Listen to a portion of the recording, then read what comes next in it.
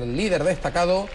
Su última esperanza es el partido aplazado ante el Hércules que se juega esta semana. Esos tres puntos son vitales ya para el equipo de Lucas Alcaraz, que en media hora hoy se ha ido del partido.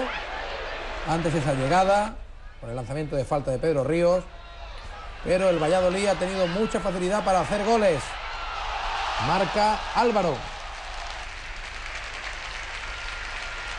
Valladolid muy rezagado, pero lógicamente obligado a apurar cualquier opción. Era un candidato al ascenso. Estaba Tete de portero, ¿no? Llorente, sí, sacrificó Lucas a Julio Iglesias, pero parece que no era ese el problema. Llorente marca casi sin querer, ¿eh? Porque fíjate, le da fatal, ¿eh? La visa, más que le da rematar. fatal. Y a los 32 minutos, en media hora, el partido está resuelto porque se cuela con esa facilidad Álvaro. Un equipo además del Valladolid que ya no tiene prácticamente nada que hacer. ¿eh? Está muy rezagado. Yo creo que no, hace nada. No, no. La verdad es que teóricamente no cuenta, pero Cuenta. se llevará por delante a rivales, como hoy le ha pasado al Jerez. Ha habido incluso otro gol anulado ese. Parece una infracción clara. Posibilidad del triplete para Álvaro. Así lo de Arcas Piqueres. Pues la verdad es que de él no es de Tote el fuera de juego, No ¿no? es fuera de juego. Yo creo que interpreta mano en el control y Ah, bueno. Si interpreta mano, sí,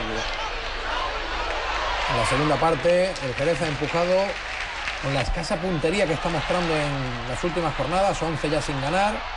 El Valladolid ha tenido ocasiones a placer, como esa que salva en dos ocasiones Tete.